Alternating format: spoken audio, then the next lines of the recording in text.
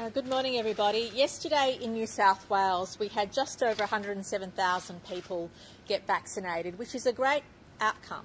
However, we are seeing that rate slightly decline, and we really need to call upon anybody who hasn't had any doses to come forward and get their first dose, but also to make sure that you come forward for your second dose uh, as soon as you can as well. That's really, really important for us to keep the pace that we've managed to have in the last few weeks. I also uh, wanted to highlight that whilst we have more than 42.5% of our population fully vaccinated. We have some time to get to that magic 70% double vaccination when we can look forward to life being much freer than what it is today. Uh, to uh, 8 pm last night, we had 1,405 cases of community transmission in New South Wales, and tragically, six people lost their lives, and we extend our deepest condolences to their loved ones uh, who are experiencing uh, obvious grief at this time.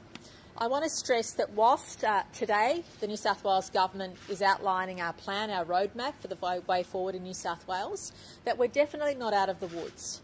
Uh, we know that case numbers are likely to peak in the next week or so, and we also know that our hospital system will be under the greatest stress in October. However, we also know that living with COVID means you have a cautious and staged reopening once you get to those high rates of vaccination in your adult population. Now, we have obviously consulted the national plan. We've also uh, had input from our health experts uh, and stakeholders to make sure that when we start reopening at 70% double dose, that it's done in a safe way and it's only for people who are vaccinated. So you, ha- you have been warned. If you're not vaccinated, come forward and get the vaccine. Otherwise, you won't be able to participate in the many freedoms that people have at 70% vaccination.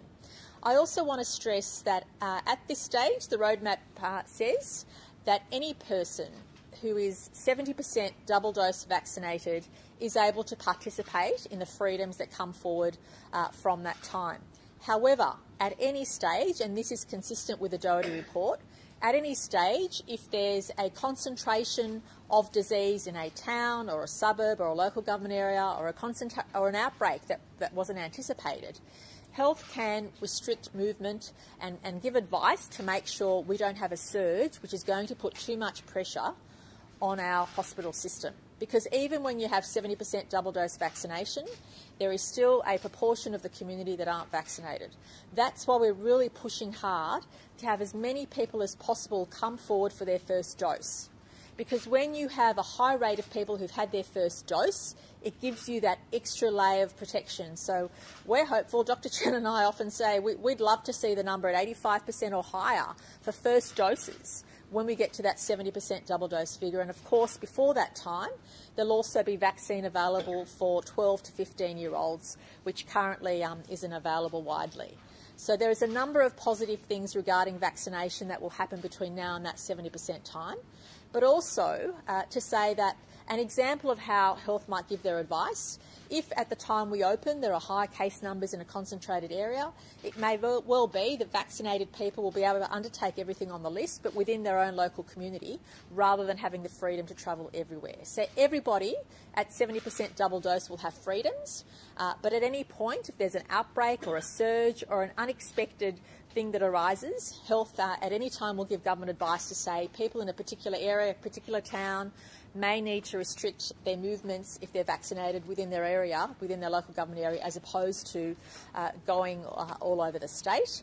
Uh, and of course, the closer we get to that time, the closer we'll be able to provide advice uh, based on what health says, uh, gives us as well. Uh, I also want to stress that obviously at 80% double dose, there'll be further freedoms, including the prospect of international travel, including uh, other things we can do.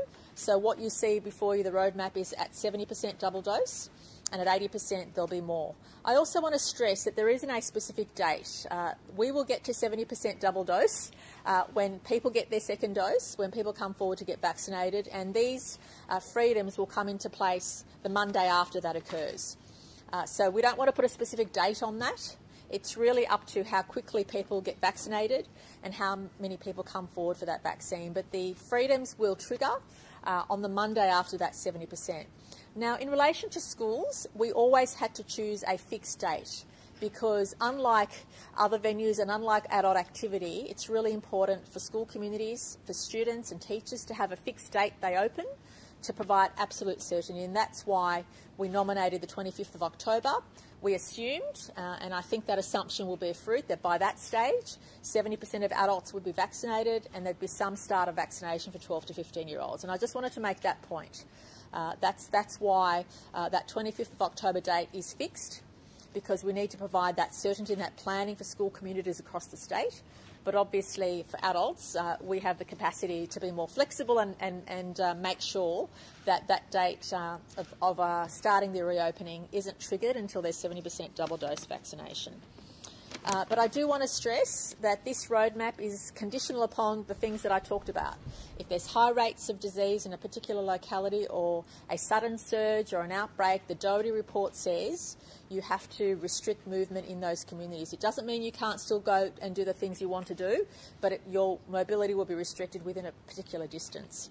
Uh, and that could happen at any stage because uh, it, it, towns or, or, cities outside of Greater Sydney, even who haven't had any outbreaks and experience an outbreak, may have to come under that condition. And I just want to make that very clear.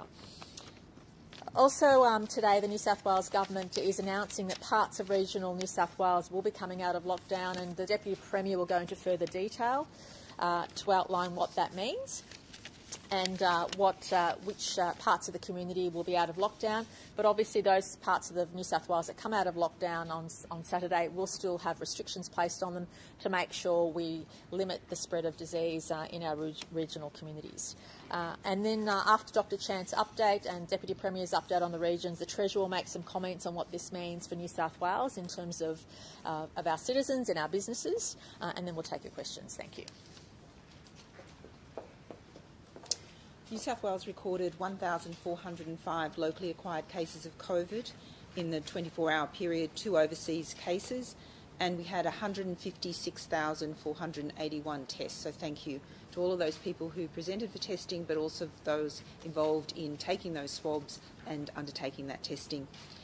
We currently have 202 cases in ICU, and they span, span the age range.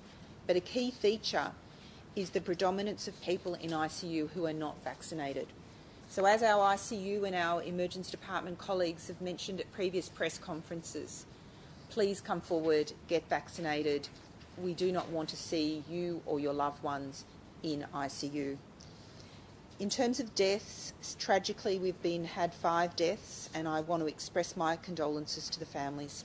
We've got a gentleman in his 80s from northwestern Sydney, died at Nepean Hospital and he was a resident of the aged care facility in Penrith. Uh, this was the first uh, death associated with this outbreak.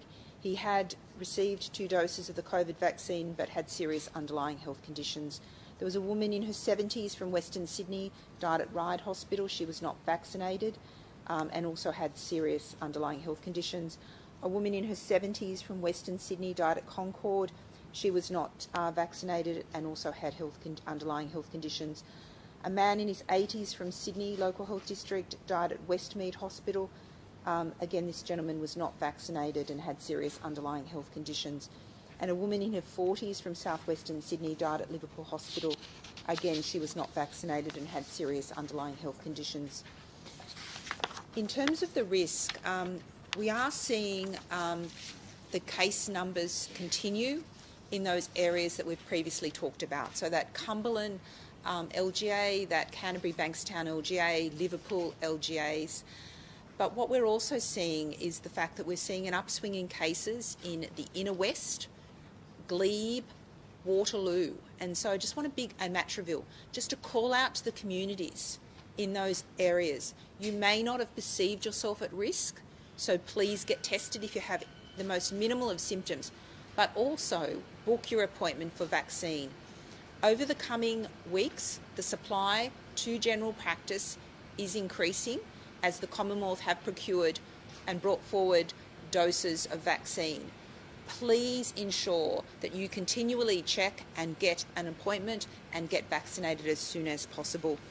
In terms of Central Coast and Wollongong, we are seeing an increase of cases in those two areas, and again, a big call out to our Wollongong and Shellharbour communities. Please get tested but also take the opportunity to get vaccinated. And also our Central Coast residents, please be very vigilant and also take up any opportunity to get vaccinated. Thank you. Well, good morning, and I start by offering uh, my sincerest condolences to those families who lost loved ones uh, overnight, and uh, you remain in our thoughts and prayers. Uh, today, of course, we have launched the uh, roadmap uh, for 70% double vaccination for, for this state, for the people of New South Wales, and hopefully it gives a level of hope and light at the end of this tunnel, the long winter, and gives us an opportunity to come together and know that, that it is worth fighting for. It's important that we stick to the course of being vaccinated uh, and being vigilant following, of course, the lockdown and the stay home orders that are in place today, uh, because only together are we able to achieve uh, the end result, and that is a level of freedoms. But for regional rural New South Wales today, vast amounts of the regions will open. Uh, Mid North Coast to the North Coast to the Northwest, Albury, uh, to Riverina and Murrumbidgee areas, but parts of regional New South Wales won't open. The southern part, southeast, uh, uh, the Illawarra, Shoalhaven area, the Hunter, uh, region, Central Coast, out to the Central West, parts of the Far West won't open today, and, and that's based on the work that we've done with uh, health, looking at parameters around how you can lift restrictions and open up the regions. It's based on active cases in the community, and we know with, uh, of course, COVID, uh, the way it's contagious and transmissible, we've got to have a level of protection for regional rural New South Wales. For those areas that are coming out of lockdown, uh, that, you are not coming back to a pre-lockdown environment there will be capacity limits for our hotels, cafes and restaurants, including the four square metre rule, mask wearing, social distancing. Uh, there, there's rules around certain activities that won't recommence. Community sport won't be permitted.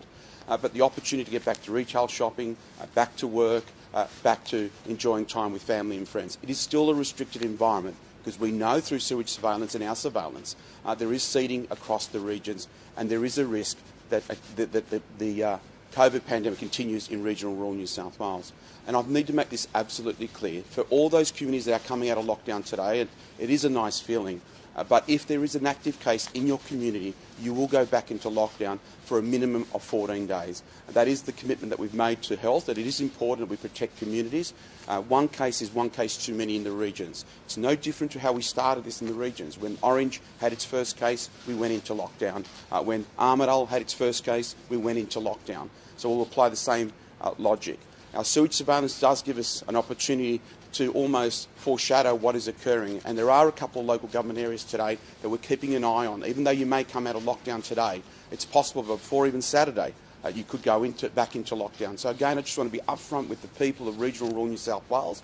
We're trying to find the balance, trying to do the right thing, um, but we're hoping, fingers crossed, that this level of opening up in parts of regional rural New South Wales will give us an ability to get back to a level of normal. Getting vaccinated is still the key. Uh, being vaccinated is the key for the long-term success of never going back into lockdown. And to those communities in regional rural New South Wales, just because we're opening today, please, please don't take your foot off the accelerator in relation to getting vaccinated. I know the people of Orange, for instance, uh, the last couple of days have had walk-in clinics. They've come forward and they've been vaccinated. Yesterday, the walk-in clinic, clinic was overwhelmed. Uh, we had to actually start turning people away, and that's great news in a way, and in Bathurst the same that the people of regional rural New South Wales understand that the ultimate passport to freedom is actually vac vaccination. I don't want this opening of the regions today, in parts of the regions, to slow down our vaccination rates. Because long term, as we follow the roadmap for, for New South Wales, there will be a moment in time where vaccinated people will have further freedoms. And that, I want to make sure regional and rural New South Wales has the same freedom. So again, today, it is a bittersweet day for the regions where some areas will open up to a restricted environment, other areas won't, and we'll be working with those communities to make sure vaccination rates go up. Overnight, of course, uh, this explains why certain areas continue to be in lockdown. In the Western New South Wales Local Health District, there were 24 new cases overnight, 15 in Dubbo, 4 in Walgett, 2 in Bathurst, 2 in Narromine and 1 in Orange. In the Illawarra uh, Shoalhaven region, 23 cases. Uh, 10 cases were in the Wollongong LGA, uh, 12 cases in Shellharbour and 1 case in the Shoalhaven. In the far west, 4 cases, 2 in Broken Hill and 2 in Wilcannia. The Hunter region, 12 new cases overnight, four were in Port Stephens, four in Newcastle, uh, three in Lake Macquarie, uh, one uh, in Maitland. On the Central Coast, sorry, on the Central Coast there were 22 cases overnight, And again, it is concerning what's happening on the Central Coast. And we're asking people on the Central Coast uh, to, remain vigilant in what they are doing, to come forward and get tested, limit mobility, and again, make sure uh, you get vaccinated. Southern New South Wales, there were three new cases overnight. There were cases that we flagged yesterday, two in Batemans Bay, one in Cooma. But since 8 p.m. last night, we've now been already uh, been given notice of two new cases, and both in Merimbula. That's why in the southeast of the state, in an electorate like Bega, uh, we continue to have those stay home orders. Again, my call out to the community is to continue to get vaccinated. In the regions we are no different. If we're going to beat the pandemic, if we're going to get back to a level of normal and no longer be locked down in the future, vaccination is our passport. Barra.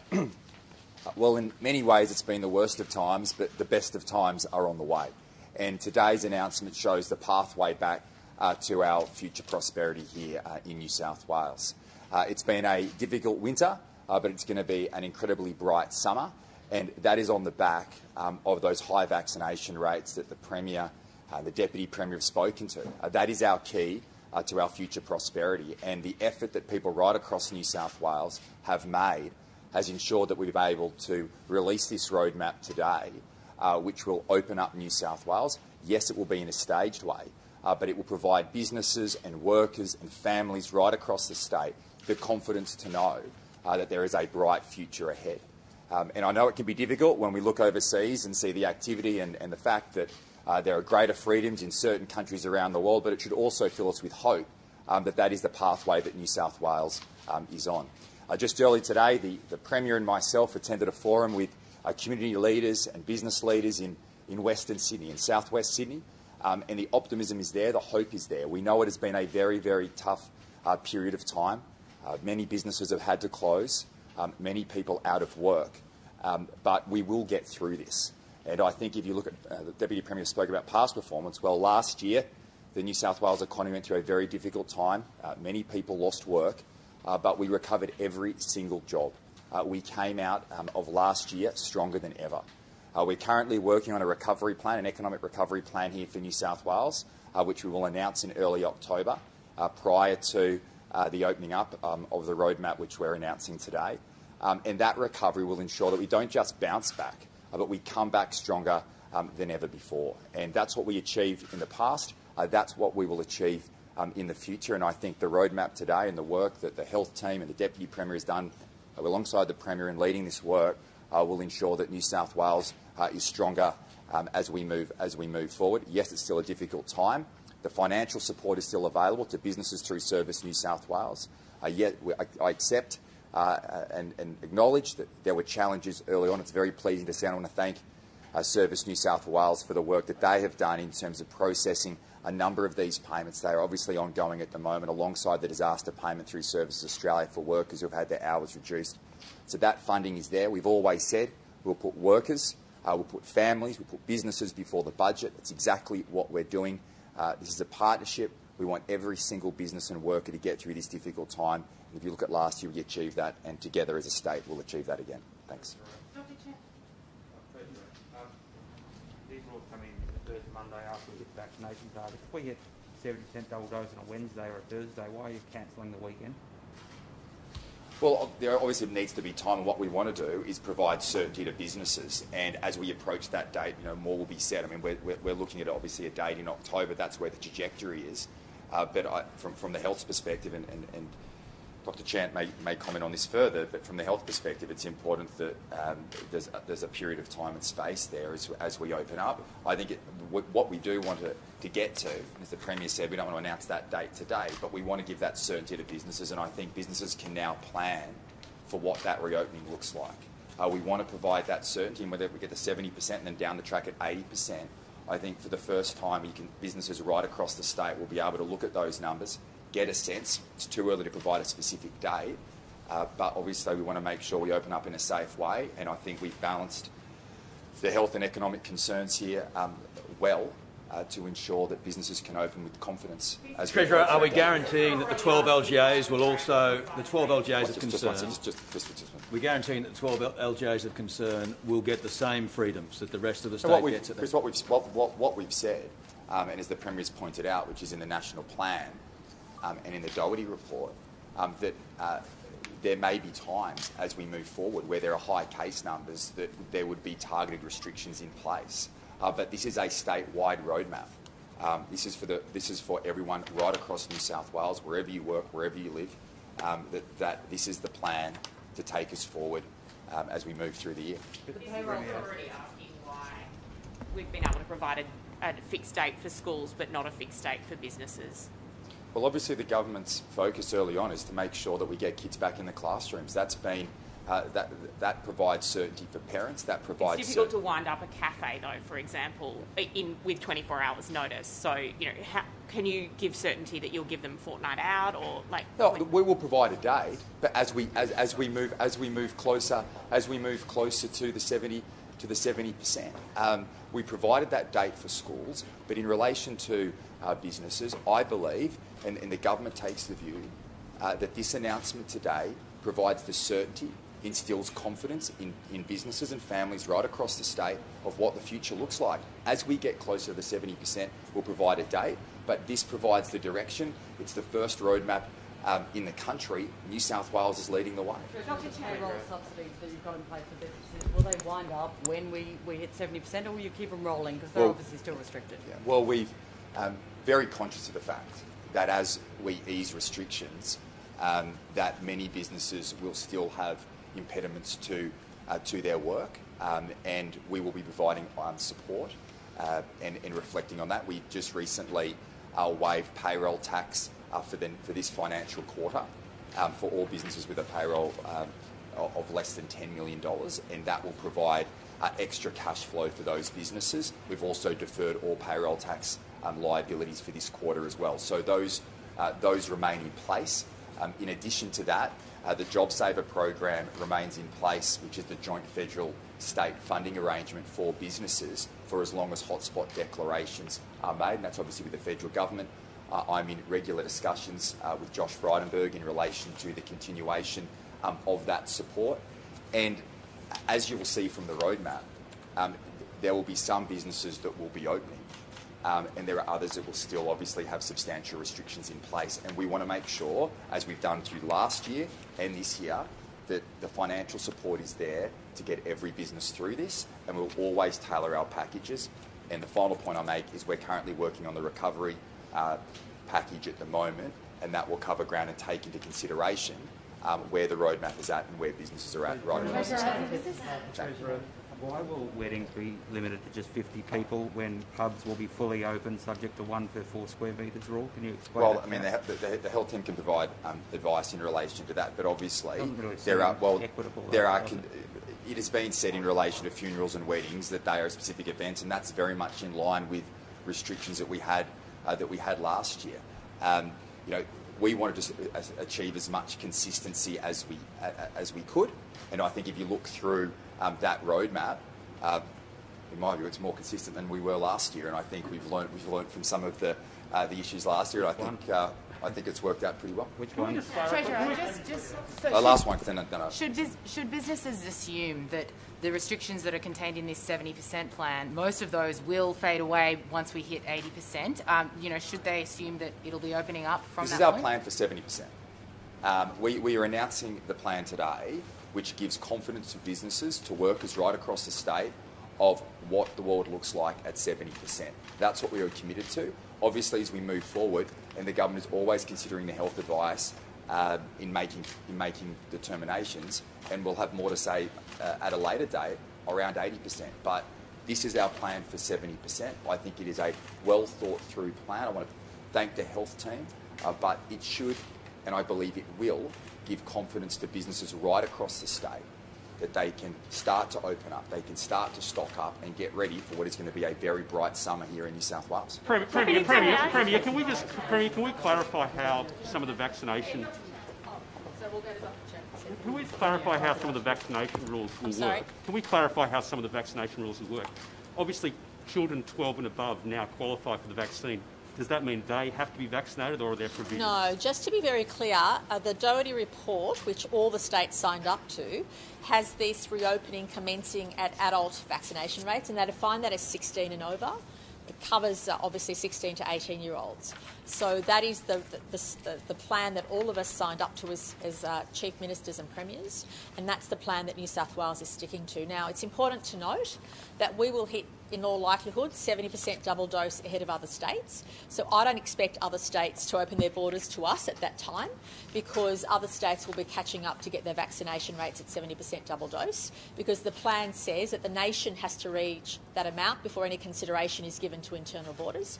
But I have every confidence that by the time New South Wales gets to 80% double dose, and I don't think too many states will be too far behind, that we will then at that stage not have any internal, internal borders in Australia and that our eye will be towards uh, international travel as well.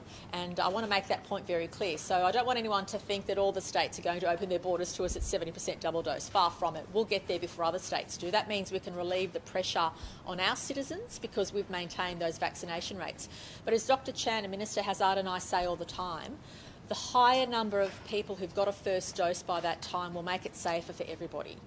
Because by the time that we get to 70% double dose, if we have around 80 or 85% of people who've already had their first dose, that gives everybody an extra layer of protection.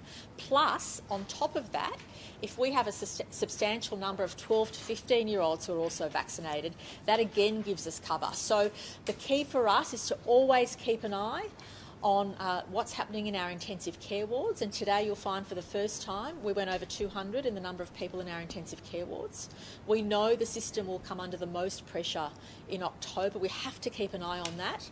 But we also have to keep an eye on our vaccination rates, and that's why it's really important. There are parts of our state where the average is clearly below 70. Uh, and there are parts of Greater Sydney where the average is below below 70. We, we need everybody to catch up so those communities aren't vulnerable. Then you'll have pockets of community who are extremely vulnerable. Uh, uh, even if they don't attend those events, the virus will still be circulating. And if you're not vaccinated, you could end up in intensive care, which is the last thing we want. So it says that uh, you will be allowed five visitors to the home as long as people are vaccinated. But it also says here that non-vaccinated young people under the age of 16 will be able to access all outdoor settings, but will only be able to visit indoor venues with members of their household. So does that mean that any any parents with young kids will not be able to visit. No, quite the opposite. What we're saying is, uh, obviously, uh, at that stage, children will be able to accompany their vaccinated parents right. at those venues. What yeah. About, Premier, what about a family with, with two vaccinated adults with uh, kids aged 12 to 16 who are unvaccinated because the five visitors says yeah this doesn't include five. yeah this doesn't include those those age groups yet because obviously our targets are around adult vaccination. However we will once vaccine is available and I understand as early as next week or the week after vaccination bookings will open to 12 to 15 year olds so the rates of vaccination our targets according to the research in Doherty is for the adult population and that's defined as 16 so and over. specifically a family with kids aged 15 who don't have a vaccine they can welcome five guests to their house. I'm sorry? Of two parents with kids with a child, for example, um, aged 15 who doesn't have a vaccination, can they have five guests? So over? long as all the adults, so long as over the, everyone 16 and over is vaccinated, that's okay. But the key is, the key measure for us, the key benchmark, which the Doherty report says is 16 and over, and that's why we've kept it consistent. But it's an absolute bonus if we get first dose rates higher than that, and that's why every day we look at those numbers. And currently they're around 75. Hopefully by today we'll kick over to around 76.5% of our populate, adult population will have first dose. But the closer we get that to 80 or 85 or even 90 in some communities, for example, it gives us great relief that in the local government areas of concern, some communities are edging towards 90% of adults at first dose. Now, that is outstanding. It means the prospect of them having the same ability to move around the state as others uh, remains very high.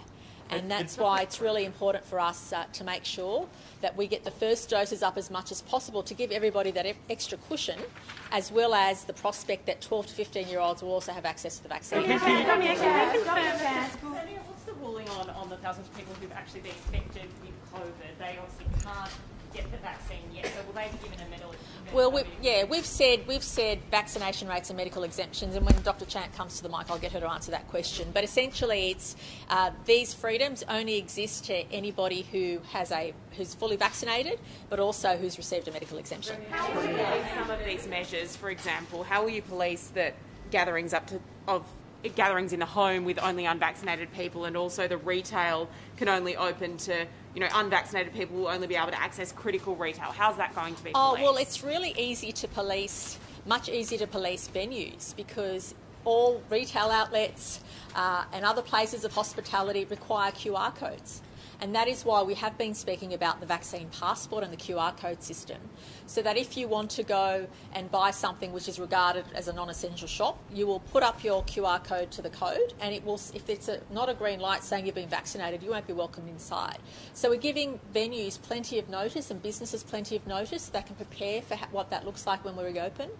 Uh, and obviously, there are still some other issues we're working through. For example, you know, if there are opportunities for us uh, for mental health and other purposes to look at uh, other things that we can ease before then, well, based on the health advice, we will do that. This is really for uh, double dose vaccinated people who can enjoy those regulated what we call regulated facilities, places where you can police that it's only vaccinated people going indoors, or, or sorry, or going into a venue, or else to an event, uh, or to uh, you know other other gathering. Uh, it is much easier uh, to police those places where the QR codes have to be and used. So what about homes?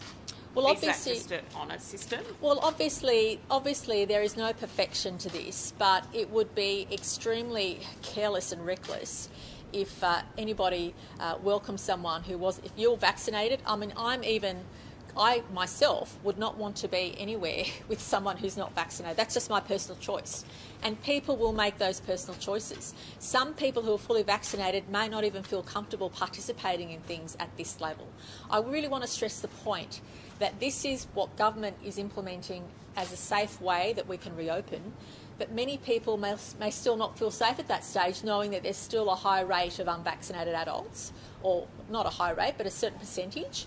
So it also comes down to personal choices, personal actions and activities.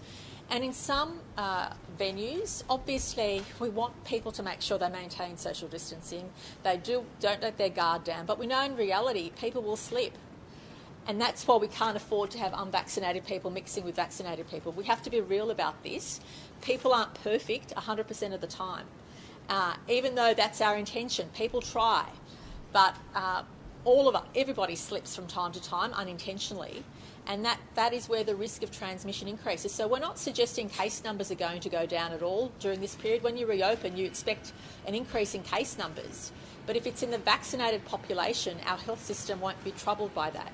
But if it's in the unvaccinated population, that's when health will give us advice to ease back and perhaps um, require people to go out, eat out locally as opposed to having the freedom to move around the state. I'll go around to everyone, yeah. Aged care visits for people who are, uh, have both vaccinations, is that on the card? Yeah, health has recommended, and it's in. It should be in the documents that they'll be allowed up to two visitors in those health facilities for everyone to be vaccinated. It's not just in aged care; it's other hospital settings as well. So health has actually put forward that recommendation already. But at any time, if there's, I want to also make this point clear. I was very clear on the qualifications about outbreaks or high numbers of case numbers in particular areas, but also we have to accept, especially between 70% and 80%, that at any given time, and it's in the interest of the business venue or the facility not to have an outbreak because uh, people will see things shut down temporarily if health advises there's a risk or there's been an outbreak. As we've seen now, uh, venues are, are, temporarily closed, cleaned out, out and then reopened. So you, we will experience that, and we don't want to sugarcoat that. But that's why it's in the business's interest to prevent that from happening, to make sure uh, they don't allow people coming in who aren't vaccinated because that will impact their business continuity.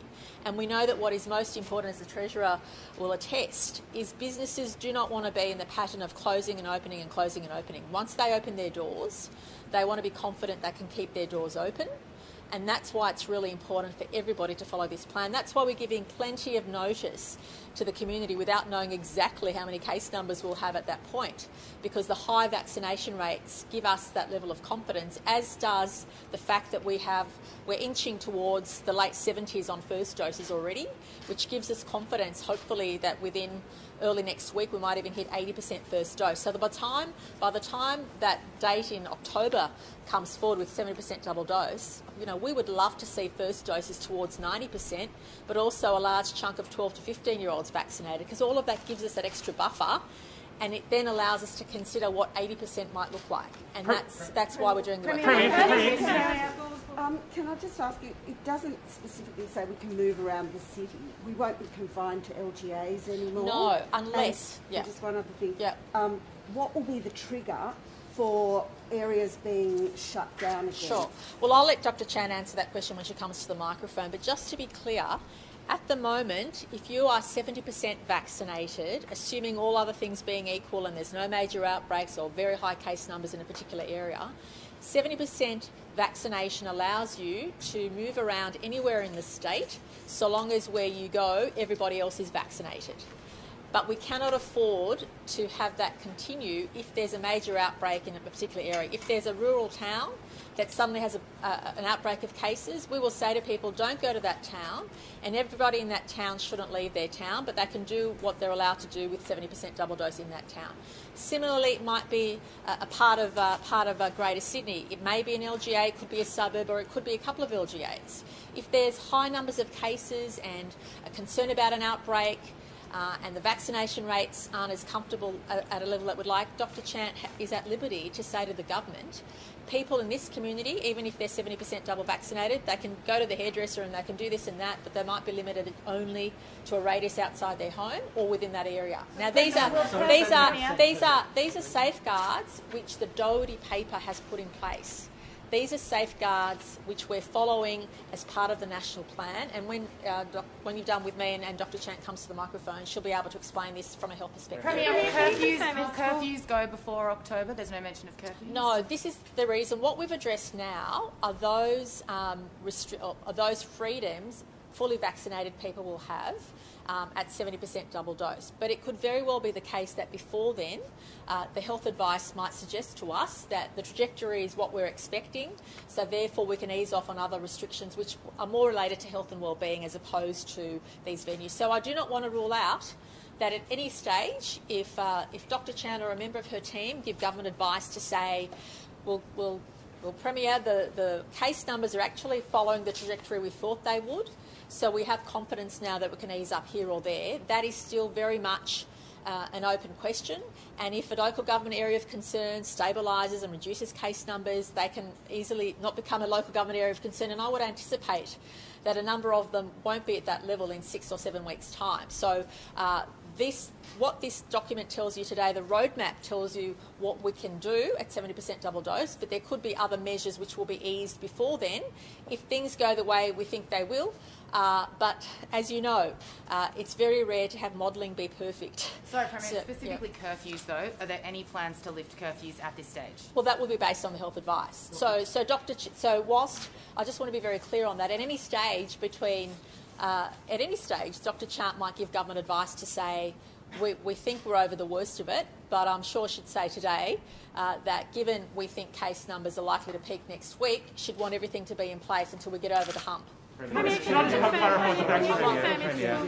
Dr. Chant, you're comfortable with the uh, pubs and gyms opening at a 70% mark? That you're comfortable look, with that? Look, as I said, I think the roadmap map gives certainty to businesses about what it looks like. I think the Premier's been very clear that this is all contingent on us getting case numbers down and getting control and that we can have the opportunity to actually do things locally that may respond to outbreaks. So this is not, con- we would expect that we are seeing case numbers decline um, at a certain point. That's what the modelling suggests, but that requires everyone to follow the stay at home rules and to get vaccinated.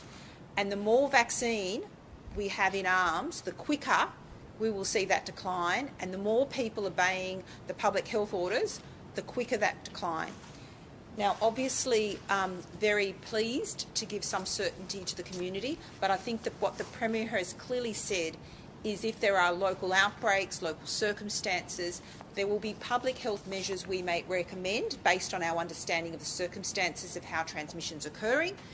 They will be tailored um, to those settings. So they may not be geographical, they may be other um, strategies. So that, that is open to us to provide those recommendations. Is it that you did initially... That, that on, based on health advice, if cases are too high in a designated area, then, then this roadmap won't proceed in that certain area. Can you give an indication of what you're considering too high?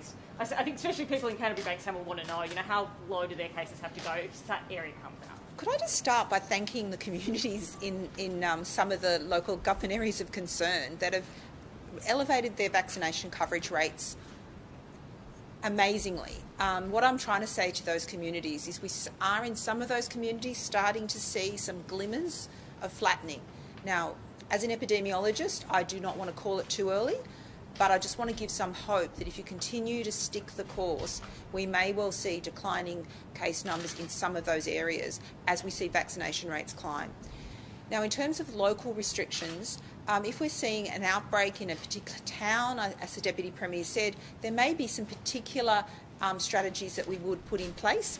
If we note that, for instance, transmission is occurring in a particular um, uh, being introduced in a particular way. We might actually work with those industries to up their COVID safety plans.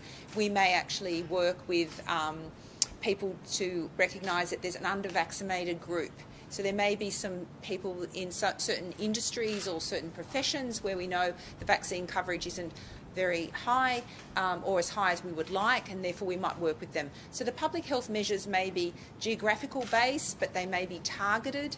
Um, we may be supporting vulnerable communities, um, increasing access to vaccination. So a suite of strategies, and we will closely monitor. Dr.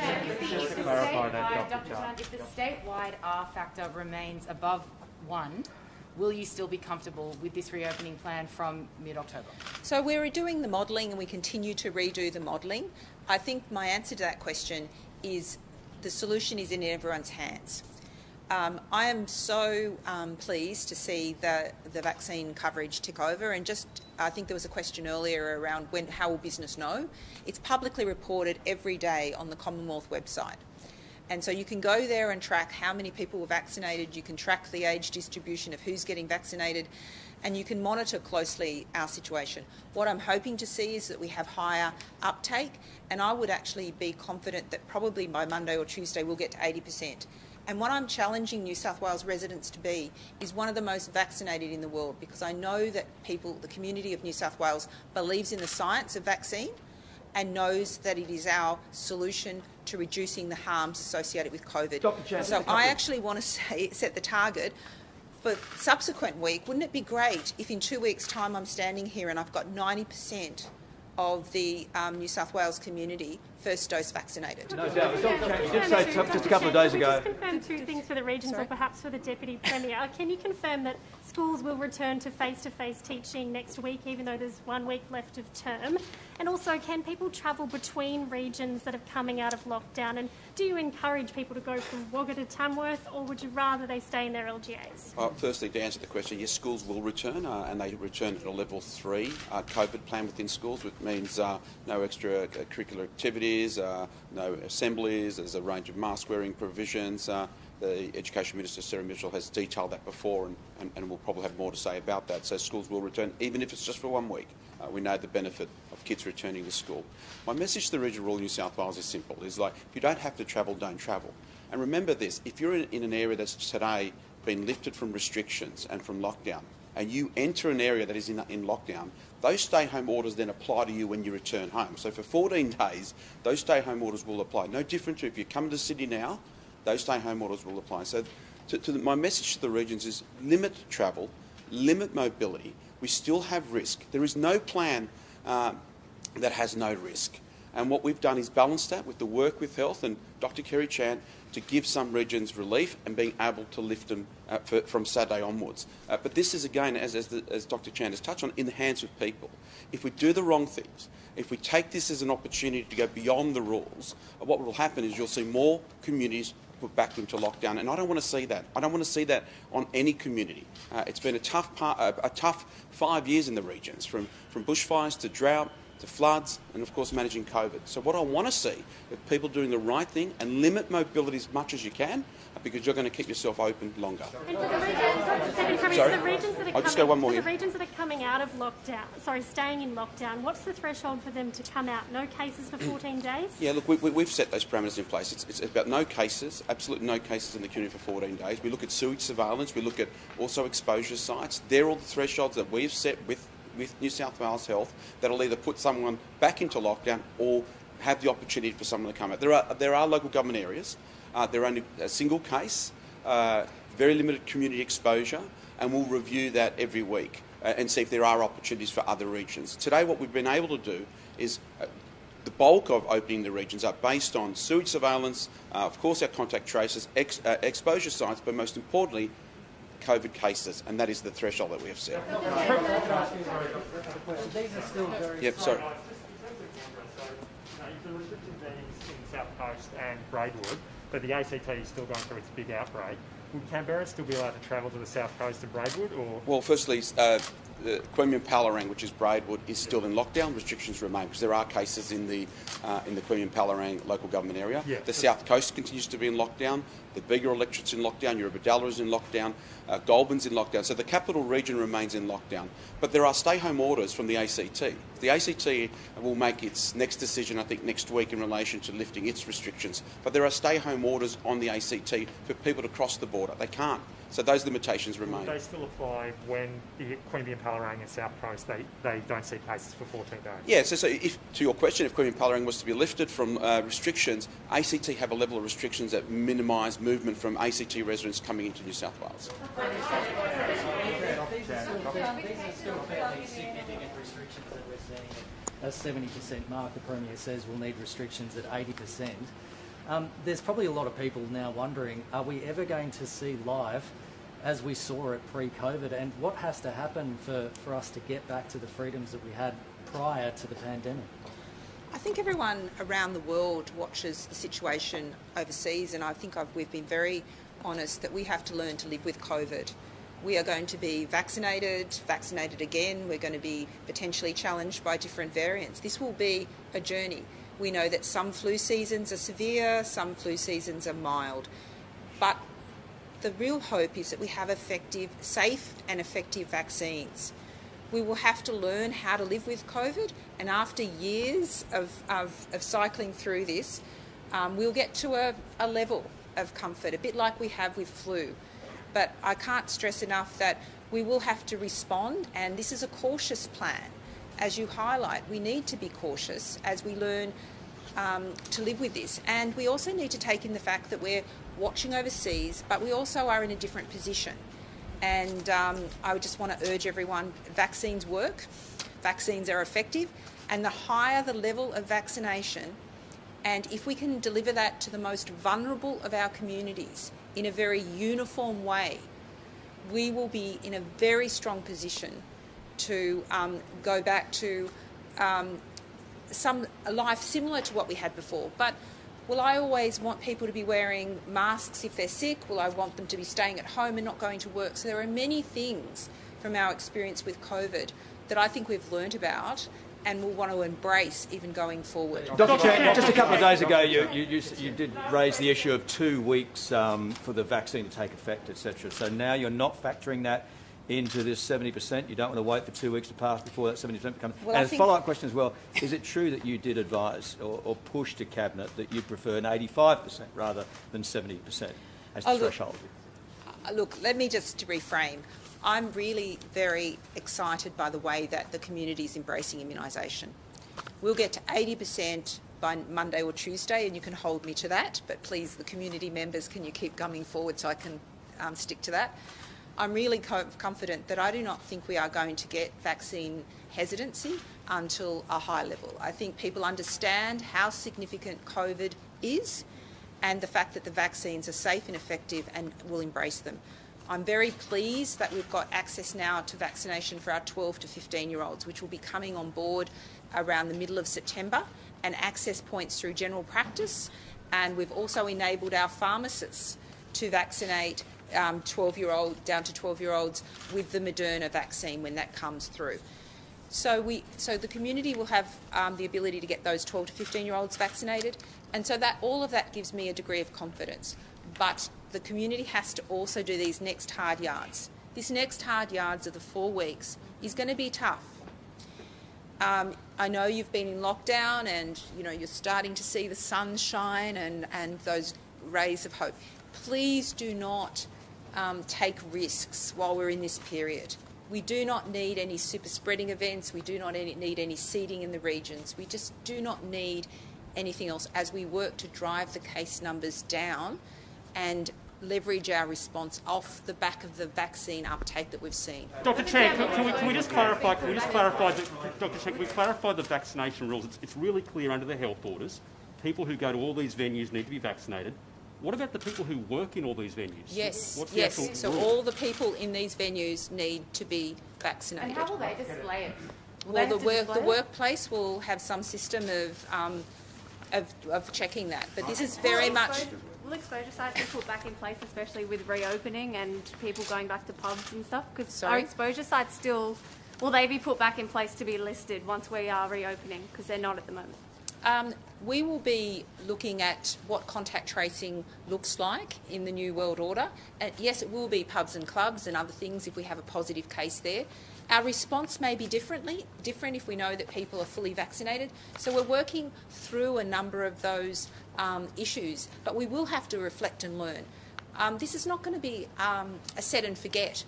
Um, the learnings we've acquired now will be uh, play play into the way we write policies and, and practice in relation to close contacts and casual contacts. The period of time we require people to isolate for the testing strategies. So, to be honest with the community, we're going to have to work on a number of those things and redesign what our test, trace, and isolate policies are into the future. Some clarity on the LGAs of concern. Um, the LGAs of concern. Um, currently, the case load in those areas is that the kind of case load that would you would suggest or you, you think would impose tighter restrictions when we do hit 70%, or are you comfortable with all of those LGAs coming out at the same time as everyone else at 70% double dose? Look, I think that's a bit of a hypothetical question. What we're really focused on at the moment is increasing the vaccine coverage in those areas and seeing the case numbers decline. Um, as I've indicated, we are seeing some stabilisation of case numbers in those in some of those areas, and what I'm hoping for is that we actually see those case numbers stabilise and then decline. That's the objective we're trying to achieve at this time. Still got questions for the Premier, sorry. Is, is, the, sorry. is the preference to get the effective reproductive rate below one before we get to 70%? Um, clearly, I've articulated the fact that we're aiming to get the case numbers down, and The, the R rate below one. yes, um, that's what our aim is. We will not see declining case numbers if your R effective is above one.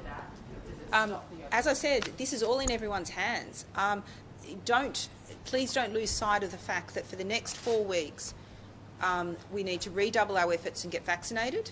Um, there's still too many people in vulnerable groups that are not, in terms of medical comorbidities, people over 50 and people over 70 that are still not vaccinated. Um, we still haven't got high enough vaccine, two-dose vaccine coverage for some of those groups.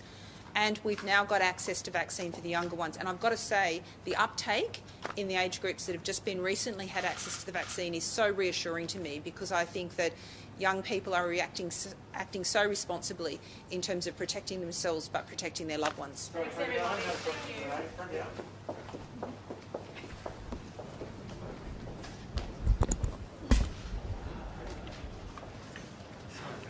The cable's come back. There's only a tiny movement, not even enough to worry about.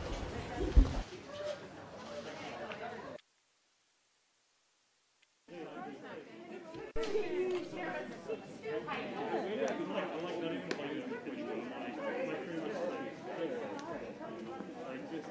mean, not, uh,